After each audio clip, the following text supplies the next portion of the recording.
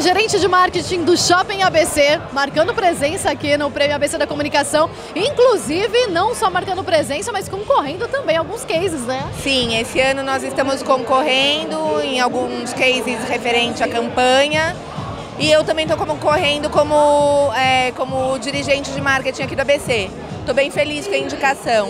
E o coração, a expectativa? Dá aquele friozinho na barriga, não dá? Dá, sempre dá um friozinho na barriga, mas assim, acho que todos os indicados são pessoas extremamente competentes, né? Então a gente tem que levar super na, numa boa, que eu acho que qualquer um que levar o prêmio é super merecedor. São profissionais incríveis, agências incríveis. Aqui só tem gente top. Quem levar foi um bom trabalho, é, né? Não dá é. pra ninguém ficar triste, de verdade. Não, não dá. Eu falo que é um encontro de feras, né? E é muito legal essa iniciativa aqui para o mercado aqui do ABC, que eu acho que assim tem excelentes tudo, tem muito conteúdo aqui no ABC, muita agência boa, muito profissional bom é, e é totalmente merecedor de um prêmio desse porte. Agora uma dúvida, esse, essa premiação, esse evento, ele se tornou consolidado aqui para a região do Grande ABC, né? Como a gente estava falando. Vocês passam durante o ano assim pensando no prêmio?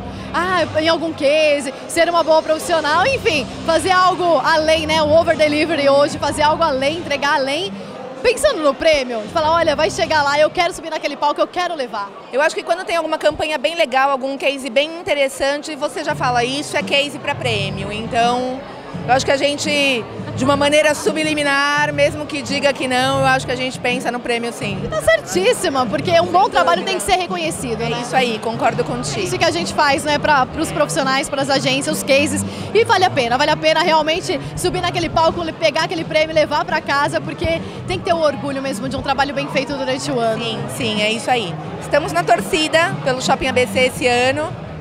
Vamos ver o que, que acontece sabe a gente se encontra ali, lá no backstage, pra gente já fazer uma nova entrevista falando da premiação. Obrigada, viu, Fábio? Até mais. Bom trabalho Até. e uma boa, um bom jantar, um bom evento pra você. Obrigado, obrigado. Até.